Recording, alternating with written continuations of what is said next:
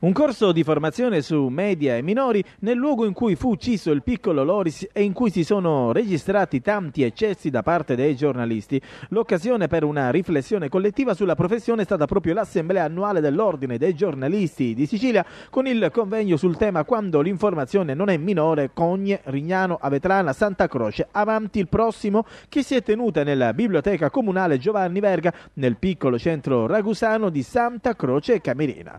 Un paese di divenuto suo malgrado simbolo del mancato rispetto delle norme deontologiche come la Carta di Treviso, spesso calpestate.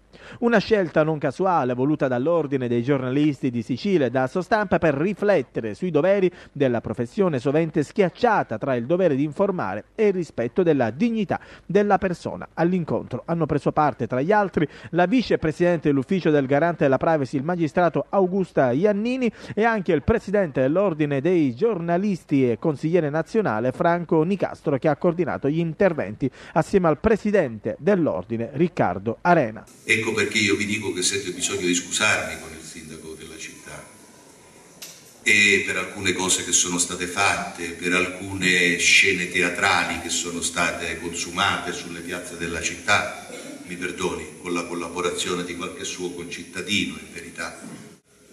E nessuno si scandalizzi, anche con la signora Veronica perché noi scomodiamo la presunzione di innocenza in questo paese quando le cose riguardano noi, i nostri familiari, eh, le persone alle quali vogliamo bene. Gli altri diventano buttani o spazzatura, non hanno diritti. Non va bene, non va bene. Noi dobbiamo fare i cronisti, non i giudici. È un altro lavoro.